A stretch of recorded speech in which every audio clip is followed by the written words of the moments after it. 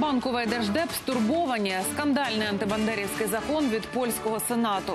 Сухе гілля замість дорогого бензину. Рецепт економії від українського кулібіна. Як звучить людське тіло? Японці створюють музику за допомогою жестів.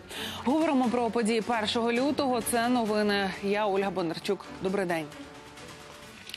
Знову втрати на фронті. Один військовий загинув напередодні поблизу Авдіївки. Ще двоє бійців поранені. Російські найманці посилили свої атаки. За добу їх зафіксували півдесятка. На Донеччині, окрім передмістя Авдіївки, бойовики з кулеметів і стрілецької зброї обстрілювали захисників Павлополя. На Луганщині ворог бив по станиці Луганській з БМП і потужних мінометів гатив по околицях Новоолександрівки. 320-мм міни противник випустив по Кримському. Вони вибухнули в межах села. Ніхто з цивільних не постраждав. Українська сторона у мінську говорила про звільнення політв'язнів з російських тюрем. Про це у Фейсбуці написала Ірина Геращенко. Вона додала, що Україна має певні ініціативи у цьому питанні, але поки що вони на стадії обговорення. Зачепили і проблеми пошуку зниклих безвісти на Донбасі. Українська сторона вкотре закликала представників ОРДЛО допустити на окуповані території експертів Червоного Христа та інших міжнародних організацій для пошуку та ідентифікації тіл. А ще у мінську говорили про екологічну ситуацію на Донбасі. В ОБСЄ переймаються через підтоплення шахт на окупованій території. кажуть, це загроза масштабного техногенного лиха. Тож від бойовиків вимагають допустити на захоплені ділянки експертів для оцінки ситуації. Вкотре представникам ОРДЛО вказали на постійні порушення російськими найманцями режиму тиші на лінії фронту і закликали неухильно дотримувати мінських угод, припинити прицільні обстріли і відвести заборонене озброєння. Участники рабочей группы повторно подтвердили приверженность всеобъемлющему, устойчивому и бессрочному режиму прекращения огня. При этом они еще раз подчеркнули необходимость издания и соблюдения соответствующих приказов, включая необходимость дисциплинарных мер за нарушение режима прекращения огня. Італія виділить 2 мільйони євро на допомогу жителям Донбасу. Відповідну заяву опублікувало МЗС країни. Півмільйона євро перерахують на всесвітню продовольчу програму. Ці гроші підуть на харчі і речі першої необхідності для постраждалих під час війни. Стільки ж отримає ЮНІСЕФ на фінансування освітніх програм змінної безпеки. І ще мільйон євро виділять комітету Червоного Христа на медичні потреби. Петро Порошенко розкритикував скандальний польський закон про інститут національної пам'яті. У Фейсбуці президент написав, що документ не відповідає принципам партнерства між Україною та Польщею. А оцінки, які там прописані, абсолютно необ'єктивні і категорично неприйнятні. Закон Сенат Польщі ухвалив сьогодні вночі. Якщо президент його підпише, за грати потраплять усі, хто заперечуватиме так звані злочини українських націоналістів проти поляків або говоритиме про польські табори смерті під час Другої світової. Це рішення Сенату викликало критику в Держдепі США. Дії польського парламенту порушують свободу слова і можуть зіпсувати відносини Варшави зі США та Ізраїлем, заявила речниця Держдепу Гізер Нойерт. Міністерство освіти Чехії вилучило зі шкільної програми Атлас, в якому анексований Крим позначено як спірну територію. Рішення ухвалили після звернення МЗС України. Написав у своєму твіттері посол України у Чеській Республіці Євген Перебийніс. Нові шкільні атласи Міністерство освіти Чехії схвалило торік у червні. Нині запевнили в Міносвіти роблять усе можливе, щоб якомога швидше виправити ситуацію. Уряд Чехії вирішив удвічі збільшити квоти на прийом працівників з України. Про це у Твіттері повідомив міністр закордонних справ Чехії Мартін Стропніцький. Він зазначив, що це має допомогти місцевим компаніям, які скаржаться на брак робочої сили. Тепер чеський уряд планує видавати українцям майже 20 тисяч дозволів на роботу щороку. І до інших новин у Нікополі скоєно замах на депутата міськради Олександра Рибакова. Свідки розповідають, вибух пролунав напередодні ввечері в гаражному кооперативі. Невідомий кинув гранату. Від вибуху депутат дістав осколкові поранення ніг і втратив багато крові. Зараз він у лікарні його вже прооперували. Медики кажуть, що життю нічого не загрожує. А поліція розшукує нападника. Кримінальне провадження відкрили за статтею замах на вбивство. Україною прокотилася масштабна акція протесту медиків швидкої допомоги. Вони назвали її Сирена. Проти чого протестували і чого вимагали, розкажуть наші кореспонденти. Київ, Харків, Одеса, Черкаси, Запоріжжя. В один і той самий час на 5 хвилин увімкнули сирени.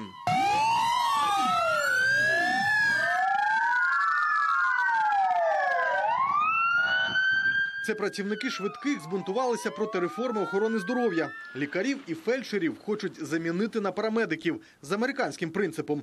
Це означає, що швидка лише доправлятиме пацієнтів до лікарні. Про надання допомоги людині вдома, наприклад, збити температуру чи тиск, можна буде забути, кажуть медики. Они решили, что самое правильное решение – это м, пополам система и врачебная, и парамедицины. То есть в ситуациях, когда есть необходимость и есть возможность оставить пациента на дому, его нужно оставить э, дома. Если э, нуждается в экстренной транспортировке, это работа парамедицины. Нововведення відчують на собі і водії швидких. Основы анатомии, пато- патологичной анатомии, физиологии, основы внутренней медицины, педиатрии, хирургии, акушерства, гинекологии, ортопедии, травматологии, урологии, отоларингологии, офтальмонологии, инфектологии. Це далеко не повний список азів медицини, які мають засвоїти ті, хто роками сидить за кермом. Віктор Бутенко працює водієм швидкої 20 років і в ролі паротехніка погано себе уявляє. Говорят, что будут переучивать. Там, ну, если я всю жизнь водителем проработал, какой я доктор? А гайки кто будет крутить? Мы же сами гайки крутим, никто нам ничего не делает.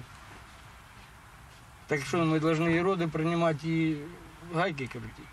У вільній профспілці медпрацівників України переконані, така реформа знищить систему екстреної та невідкладної допомоги. В стационарах убегают врачи, уезжают за границу, у нас э, уезжают, ра- увольняются водители, и мы, э, если так дело пойдет, то скоро останемся на своих двоих, и я даже не знаю, чем это все закончится для нашего населения. З петицією відмовитися від ідеї перекваліфікації лікарів на парамедиків профспілка медпрацівників звернулася до Кабміну. Наразі збирають підписи. Потрібно 25 тисяч. Поки що трохи більше ніж 3,5. Але шанси не допустити нововведення є, вважають медики. І наводять досвід європейських країн, де від такої системи вже відмовляються. Сергій Бордюжа, Станіслав Кухарчук, Павло Тимошенко, Ігор Воробій, телеканал Інтер. Набу і САП підозрюють як з керівництва адміністрації морпортів у привласненні чверті мільярда гривень. Про це йдеться у повідомленні прес-служби антикорупційного бюро. Нагадаю, два дні тому детективи набу провели обшуки в адміністрації морпортів на Миколаївщині, в Одесі і в Києві. Після чого восьми чиновникам оголосили підозру. А колишнього голову адміністрації портів Андрія Меліна затримали. Зупинити потік російської продукції вимагають українські виробники добрив. Попри санкції, вітчизняний ринок буквально завалений товаром з країни-агресора. Через це українські заводи опинилися на межі закриття. Хто допомагає російським компаніям оминати заборони і чи можна ще виправити ситуацію? Дивіться далі. У Мінекономрозвитку обговорили постачання хімдобрив з Росії на український ринок. Останнім часом російський монополіст компанія Єврохім своєю продукцією заполонила весь ринок добрив в Україні, і все поза заборонами. більше року триває це антидемпінгове розслідування. І за цей час. Там за російські гроші ми то взагалі то відмінялось, то ми домагалися його відновлювали. Коли його відміняли, майже вся хімічна галузь України зупинялась, в тому числі найбільше підприємство на моєму окрузі. Тисячі моїх виборців залишились без роботи. На засіданні українські виробники вкотре просили підняти для Росії мито на селітру, адже чинне на тепер росіяни вже навчилися обходити і почали масово завозити по суті ту ж аміачну селітру, ідентичну за хімскладом, але під іншими митними кодами і з боку Білорусі. Що весь світ застосовує санкції до Росії, обмежує е, їх і е, заставляє їх виконувати плани по збереженню цінності суверенітету України, повернути Крим.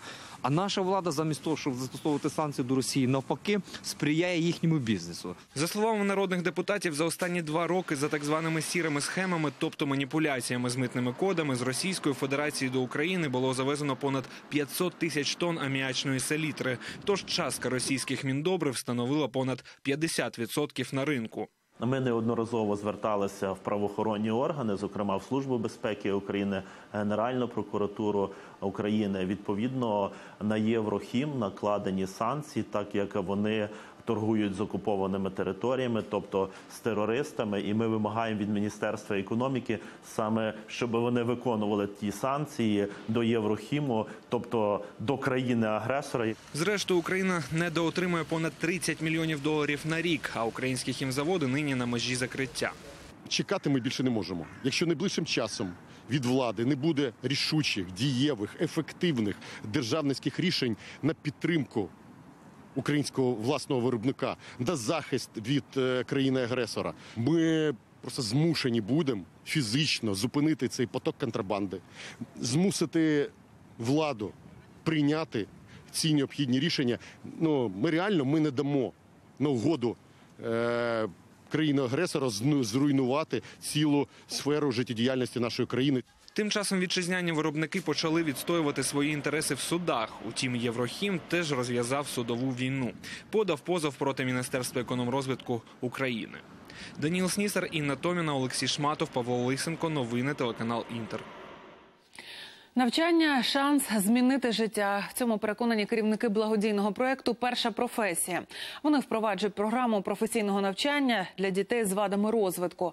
В інтернатах дівчат, е, дівчат вчать шити, робити макіяж і куховарити, а хлопців основ теслярської справи і крою взуття. Оля старанно застрочує шов на майбутній сумці. Вона в усьому приклад для молодшої сестрички Каті і гордість педагогів. На уроці їй навіть дозволяють посидіти за вчительським столом. Я спочатку е, зметала, е, зметала, потім пришила на машинці. Це буде ручка для екосумки.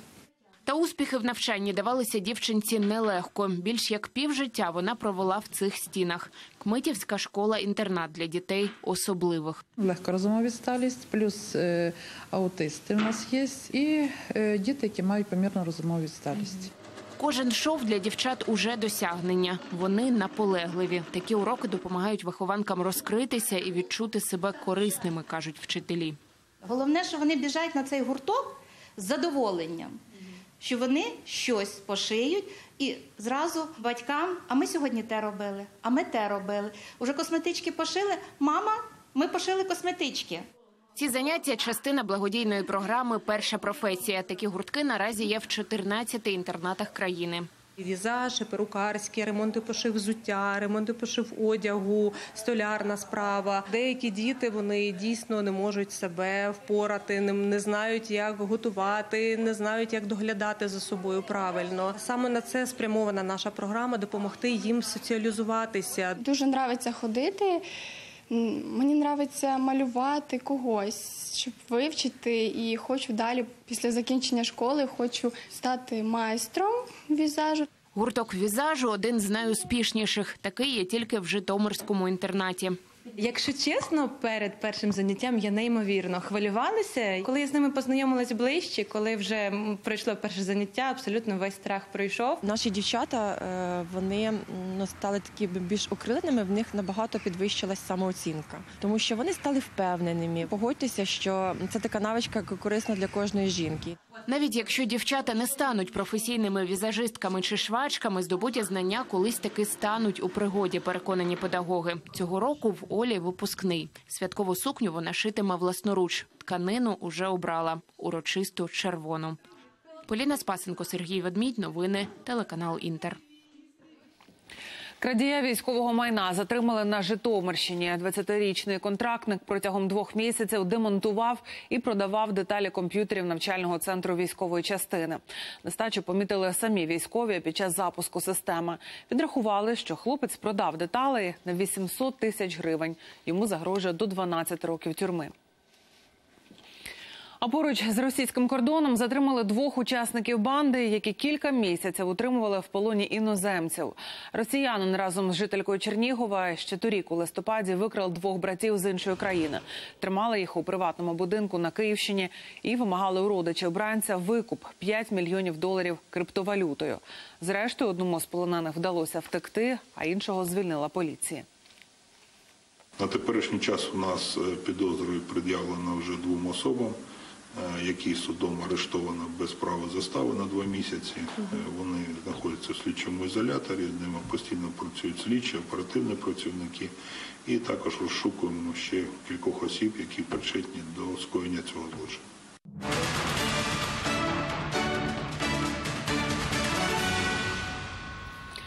Сполучені Штати виділять 350 тисяч доларів на розслідування військових злочинів у Сирії.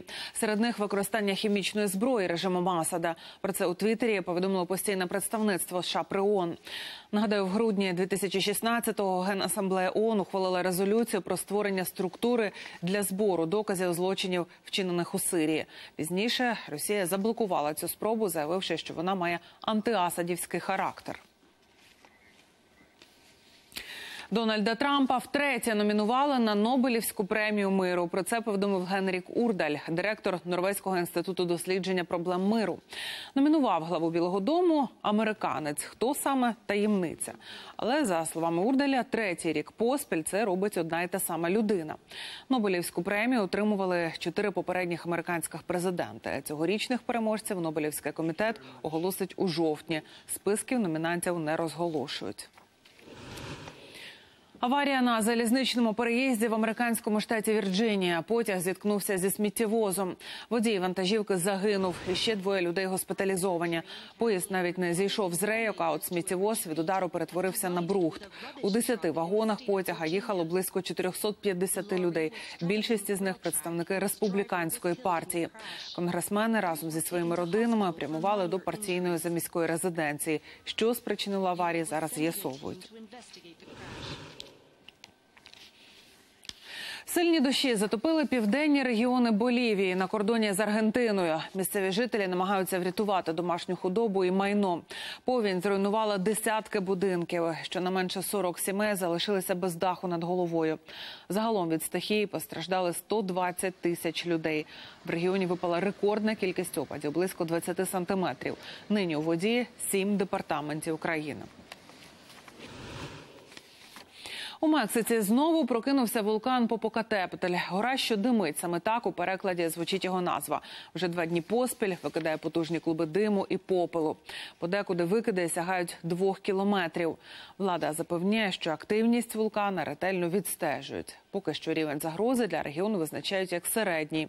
В разі збільшення активності вулкана розпочнуть евакуацію. Не маєте музичного інструмента не проблема. Японська компанія представила програму, що створює музику за допомогою жестів. Звучання залежить від швидкості рухів і їхньої частоти. Окрім цієї розробки, на виставці в американському. Анахаймі дебютували кільце для музичних ефектів, дитячий синтезатор і 3D-скрипка. Більше про музичні новинки дивіться далі. Рухати тілом це все, що потрібно, щоб створювати музику за допомогою системи доповненої реальності Кагура. Таку на виставці в американському місті Анахайм представила японська компанія. Користувач вказує частинами тіла на іконки, що на екрані. Система вловлює рухи та за допомогою веб-камери перетворює їх на звуки. Програму можна підлаштувати під себе, закріпити будь-який звук за будь-якою іконкою. У кожної іконки є звук. Він задає ритм. Ви можете без проблем створювати музику будь-якою частиною тіла. Це просто навіть для дітей. А професіонали можуть використовувати цю програму для своїх шоу. Ще один експонат виставки кільце, яке змінює тональність мелодії. Воно дозволяє музикантам не відволікатися від гри на інструменті. Щоб змінити налаштування, достатньо поворухнути пальцем. Нині розробники працюють над створенням бездротового кільця. Презентувати його планують цієї осені. Проблема в тому, що коли ви хочете змінити музичні ефекти, вам одночасно доводиться однією рукою грати, а іншою перемикати налаштування або ж робити паузу. Одна з можливостей цього кільця змінювати звук безпосередньо під час гри.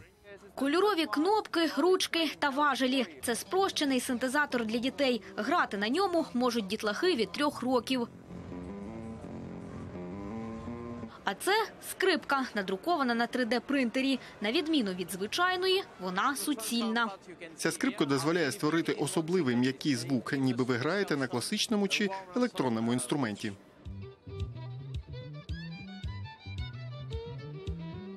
На виставці в Анахаймі свої новинки представили близько двох сотень компаній. За кілька днів її відвідали 10 тисяч людей. Олександра Осипова. Новини телеканал Інтер. Всесвітня виставка іграшок встановила рекорд у німецькому Нюрнберзі. Цьогоріч тут представлені близько трьох тисяч виробників. М'які іграшки, конструктори, головоломки, словом, забавки на всі смаки і вікові категорії. Організатори очікують понад 70 тисяч покупців зі 120 країн світу. Виставку проводять уже майже 70 років поспіль. Співробітників МЗС Великої Британії попросили не годувати службового кота. Мовляв, наївшись ласощів, кіт Пальмерстон не хоче виконувати своїх обов'язків ловити пацюків, адже на посаду його взяли саме для цього. Пальмерстон став головним мишоловом МЗС майже рік тому. Його взяли з притулку. У міністерстві порахували, що за цей час він спіймав 27 гризунів. Неймовірне відкриття зробили вчені Кельнського університету. Вони досліджували тарганів і з'ясували, ці комахи змінюють свою ходу залежно від того, наскільки швидко рухаються. А ці знання можуть допомогти у конструюванні роботів. Зоологи університету в німецькому Кельні з'ясували, таргани змінюють свою ходу під час пришвидшення або сповільнення руху. Раніше вчені таке фіксували лише у совців, наприклад, у коней. Ці тварини змінюють дрібну рись на галоп. Це допомагає зберегти баланс і не впасти. Тарганам зробити це легше, бо в них низько розташований центр тяжіння. Ми з'ясували, що під час зміни високої швидкості на повільну комахи, принаймні таргани, змінюють тип ходи. Це стосується координації передніх лап, а не просто сповільнення рухів. Таргани пересуваються швидко, бо в них хвилеподібні рухи кінцівок. У цих комах біг починається із задньої лапи і переходить до передньої. Це знижує витрати енергії, мінімізує контроль рухів центральною нервовою системою. Це відкриття, кажуть дослідники, допоможе у створенні нового покоління роботів. Вони зможуть працювати довше й ефективніше, а ще витрачати менше енергії, рухаючись слизькими та рельєфними поверхнями. У роботів, які мають ноги, обмежені енергетичні можливості. А із цим відкриттям ми знайшли механізми, які зменшать витрати енергії таких машин. Коли саме почнуть застосовувати ці відкриття у виготовленні пристроїв, учені не кажуть, але зазначають, цей механізм руху спростить життя користувачам такої техніки. Олександра Осипова, новини, телеканал Інтер. Ну а у вітчизняних винахідників інші стимули для технічної творчості. На Чернігівщині чоловік пере- переобладнав свій легковик на дров'яний двигун. Тепер замість бензину за 30 гривень водій на 100 кілометрів витрачає лише мішок сухого гілля. На такій автівці з вітерцем проїхала Еліна Зеленська. Це Євген Коливан, вчитель фізики з Чернігівщини. А це його автовинахід – дві металеві бочки, припасовані до багажника старенької машини. Агрегат діє за принципом твердопаливного котла. Дрова тліють, машина їде. Це сам реактор, в якому відбувається спалювання дров, і фільтр. У двигуні переробок абсолютно ніяких. Проложений під підніжжям машини трубопровід, по якому йде газ. Водій дивомашини каже, нічого нового не вигадав. Так їздили ще на початку минулого століття. Пан Євген підпалює дрова. Огоньок є. Тут ось стоїть турбінка, вона смокче газ із фільтра. От. Коли він тут піде горючий, ми поїдемо. Ну, вон вони там горять, виділяють газ. От. На тому газу їде машина. Я вже накатав чимало. 30 тисяч уже скоро буде. Гроші на бензині теж зекономив. Три тони бензину. Кілограм дров замість літра бензину. Чоловік жартує, паливо преміум класу для його автомобіля липа та береза. Проте й на соснових трісках їздить ні в року. Зупиняємося, щоб підзаправитися. Замість пістолета зі шлангом пилка. На Чернігівщині що не лісосмуга, то заправка. Щоб проїхати 100 кілометрів на бензині, автомобілісти в середньому витрачають 300 гривень. Євген же щодня заощаджує кошти. Зупинився на 5 хвилин, набрав дровенят і знову в дорогу. Підкинула дрові як нагорода, можливість покермувати дивомашиною, щоб порівняти зі звичайною. Різниці не відчула. Євген каже, за 4 роки заощадив понад 60 тисяч гривень. Таких кулібіних на Чернігівщині вже троє, а загалом в Україні близько десятка. Ліна Зеленська, Максим Чеблін. Новини. Телеканал Інтер. І на цьому поки що все. Про розвиток подій розкажемо о 17.40. Вдалого дня і до зустрічі ввечері.